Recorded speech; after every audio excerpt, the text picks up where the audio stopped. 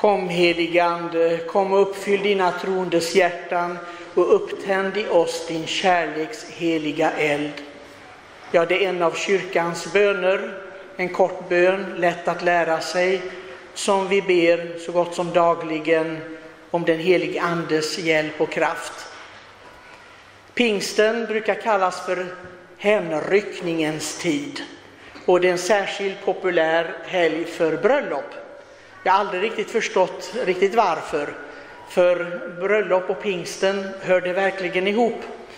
Ja, om man ser på statistiken så är det ganska så nedslående. 50 procent cirka av alla ingångna äktenskap slutar i skilsmässa, åtminstone på våra breddgrader.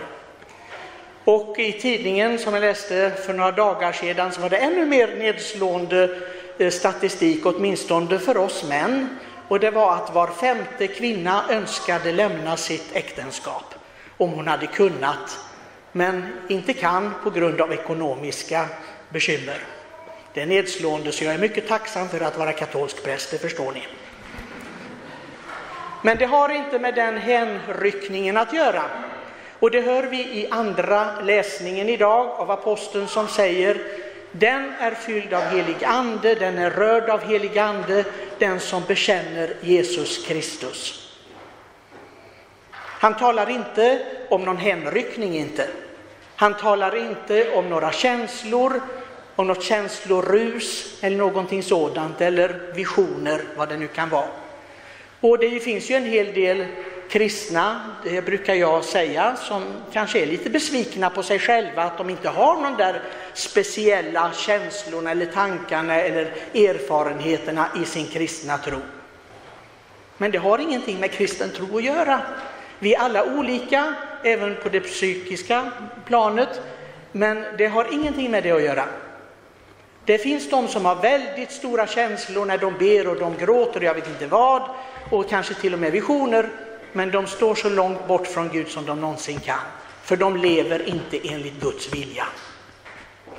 Det är det som är att vara ledd av den helige Ande. Den katolska kyrkan, den goda moder hon är, har i över 2000 år lett oss och sagt exakt vad det handlar om. I den katekesen, för jag vet ju att ni alla har en katolsk katekes och en bibel hemma, för det har jag ju sagt många gånger, det tror jag ni har då, får hoppas i alla fall. Där står det tydligt och klart vad den helige Andes sju gåvor är. Det är vishet, insikt, råd, styrka, förstånd, fromhet och gudsfruktan. Sju gåvor, det är därför jag har tänt sju ljus framför altaret idag. Dessa sju gåvor, det är ju inte säkert att vi alla har de gåvorna, men bekänner vi oss till Jesus Kristus så har vi i alla fall något av detta. Och sen de flesta av oss måste också kämpa i sin tro. Det handlar inte om att den som har Andens gåvor, den har blivit fullkomlig. Den är så stark att den inte har något motstånd mot Gud i sitt inre. Nej, det är inte det. Men däremot den som inte har den helige Ande har inte kraften att resa sig efter varje fall. Den har inte det. Utan den utlämnar sig kanske åt likgiltighet eller att låta det vara eller bryr sig inte längre. Visheten, det är att veta varför vi är skapade för, att det finns en mening med vårt liv, vars och ens liv.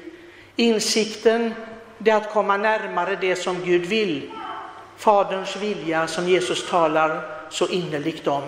Han som har kommit till jorden för att uppfylla den. Rådet att kunna inte bara ge andra råd, utan få råd från Gud hur jag ska göra i varje enskild situation, hur jag ska tänka, tala och handla. Styrkan att stå emot, det är en svårighet. Många har inte styrkan att stå emot världens mentalitet som Paulus talar om, utan går in kanske ganska lätt i den fåran om jag inte är lycklig i denna världen, vilket meningslöst liv. Det gäller att ha andens styrka att stå emot detta. Så en människa alltså som är sängliggande sjuk, kanske förlamad, har den inte ett riktigt liv? Och det är så tankegångarna går. Det är därför som man spekulerar så mycket om hur vi ska göra med dödshjälp. Kanske är jag deprimerad, ja det hjälper det kanske med en spruta, så är det slut. Det är så man tänker idag. Och på många platser så är det det som sker. Därför att man har inte andens styrka att förstå att varje liv, hur det än ser ut, det har en mening, fullständig mening, så som Gud vill ha det. Men man måste acceptera det. Förståndet, ja det är många som inte har förstånd, det förstår man ju. Det, det är många när de öppnar munnen, de har inget förstånd. De talar om saker och ting de inte förstår och de säger så dumma saker man tänker, tänker de överhuvudtaget? Kanske hjärnan inte fungerar eller hjärnan kanske är på semester. Att inte ha förstånd. En kristen måste ha en förstånd, inte enligt världen och resonera enligt världen, utan enligt Guds ord. Det, det är förstånd enligt den helige Ande. Att vi kan resonera med Guds ord och kyrkans förkunnelse naturligtvis. Fromhet. Många tror att om jag ber tillräckligt många böner så är jag from, eller går tillräckligt många gånger i kyrkan så är jag from. Ja, det är inte riktigt säkert det. Jag har känt under mina 64 år en hel del så kallade fromma människor. De ber, ja. De går i kyrkan, ja. Men när det gäller den sanna fromheten, den har de inte. De bryr sig bara om sig själva. De är så nöjda med sig själva för att de är massor med böner, tillbringar massor med tid med religionen. De är alltså religionskonsumenter egentligen. Men att vara from, mina kära vänner, en helt annan sak. Att ha fromheten med den helige Ande, det är att verkligen ha en helig oro över andras frälsning. Det är den sanna fromheten. Det hjälper inte att du har meditationer i timmar och jag vet inte inre bön, jag vet inte vad, men inte oroa dig för andras frälsning. Var och en av oss, från det vi var små tills nu, vi träffar massor med människor. Vi har ett andligt ansvar för dessa. Ett andligt ansvar att vittna för dem om vår egen kristna tro, men också att be för dem. Jag träffar Många människor som jag förstår, de har inte Gud i sitt liv. Vad gör jag? Går jag bara förbi? Herren har en egen liknelse om detta, om ni kommer ihåg det. Om den barmhärtige samarien. Präster gick förbi en slagen man vid sidan, diakoner gick förbi, andra fromma människor. De skulle till templet i Jerusalem och be. De brydde sig inte om andra människor som låg bredvid. Var de där så var de där. Det var en samarier som var utanför den gudsgemenskap som de tänkte på den tiden. Han brydde sig inte om var han var på väg, han tog sig an den här människan. Mina vänner, jag talar inte om tiggare och sådant som vi ser som tigger. Det talar jag inte om, det är en annan sak. Jag talar om alla de människor som går bredvid oss. Det kanske inte ser ut som om de ligger vid vägen, men de lever utan Gud. Gud finns inte i deras sfär och jag går bara förbi. Jag kan gå varje dag i kyrkan, jag kan be hur många böner jag vill och en, en, ägna mig åt inre bön och meditation och allting och andlig läsning. Jag bryr mig inte, jag går förbi som dessa präster och diakoner och de andra fromma i Jesu liknelse. Men from är jag inte. Fromhet är att brinna för andra människors frälsning. Ber jag så för mina gamla skolkamrater, säkert de som kanske var en pina för mig, som gjorde livet svårt för mig. Ber jag för deras omvändelse och frälsning. Ber jag för mina arbetskamrater, de jag möter i det sociala livet, ber jag att ingen av dem går förlorad. Det är ganska så lätt att be för människor som lever på andra kontinenter som jag aldrig träffar, som jag inte ser, som inte stör mig och ber för att de ska ha mat och de ska ha trygghet och bostad och frälsning och allt. Men de som är runt omkring mig, som stör mig, som irriterar mig kanske, som jag helst skulle vilja slippa, hur är det med dem? Är jag ledd av anden? Är jag verkligen ledd av anden? Jag tror kanske att jag har anden inom mig, men jag bryr mig inte. Att vara fylld av Anden är att brinna för människors frälsning. Herren Jesus Kristus, vår frälsare, har kommit ner just för det. Inte för att liksom gör, peppa till det lite i vår tillvaro och göra livet lite mer intressant, att Gud är bland oss. Nej, nej, nej mina vänner. Han kom för frälsningens skull, inte för någonting annat. Gudsfruktan. Har vi verkligen gudsfruktan? Det är en fråga.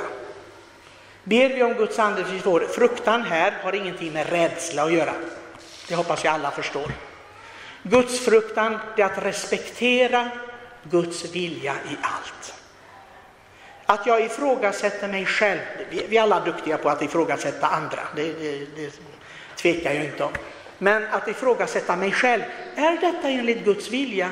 Det jag tänker nu, det jag säger, det jag gör. Det är Guds fruktan, att ifrågasätta detta och säga, är detta bra enligt Guds vilja? Hur ser Gud på detta? Ska jag fortsätta på detta viset eller inte? Det är Guds fruktan. Av dessa gåvor så kommer det tolv frukter, jag ska inte gå in på dem, men vi förstår att dessa frukter har med dygderna att göra. Vi är kallade till någonting storslaget. Ofta nöjer vi oss med ett halvdant kristet liv. Vi låter inte anden riktigt komma in. Vi stänger våra fönster. Vi kanske tycker det räcker så. Så som jag är och lever min kristna tro, det räcker. ju. vad, vadå, vad, vad behövs det mer? Maria hon bad för dessa apostlar. De har varit skräckslagna, de har varit förvirrade. De visste inte riktigt vad det hela gick ut på. De har varit med om någonting som var så kaotiskt och förfärande att se sin mästare dö, bli avrättad. Maria hon överger dem inte. Hon är den sanna modern, hon överger ingen. Hon vet sin uppgift, hon står fast vid det. Hon är kyrkans moder som Paulus den sjätte ville att vi skulle påminnas om under andra Vatikankonciliet. Kyrkan har en moder och det är Maria. Må hon be än idag för oss. Hon bad för lärjungarna i nio dagar, den så kallade pingstnovenan. Hon bad att de skulle få den fullheten av anden som hon hade. Må hon be även för kyrkan idag och för var och en av oss. Att vi inte innesluter oss i oss själva och bara tycker att det räcker vad jag behöver och vad jag tycker och tänker, utan öppnar oss för anden så att han kan leda oss så som han vill. Kom helig Ande, kom och uppfyll dina troendes hjärtan och upptänd i oss din kärleks heliga eld. Amen.